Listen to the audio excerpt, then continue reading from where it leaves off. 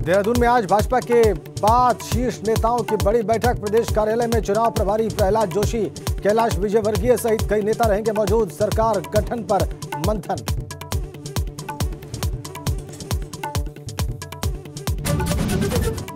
UP में करारी हार पर बोली BSP supremo Mayawati. BSP, Bhajpa की बी टीम होने की अफवाह फैलाने का हुआ नुकसान, नतीजों से सबक लेकर प्रयास रखेंगे जारी।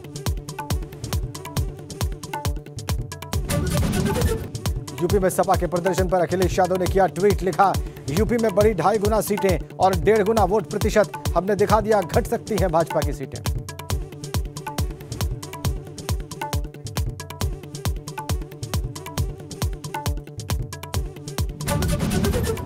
भाजपा की जीत पर होर्डिंग पोस्टर से पटा लखनऊ शहर, पीएम मोदी और सीएम योगी की तस्वीर के साथ जनता का जताया आभार।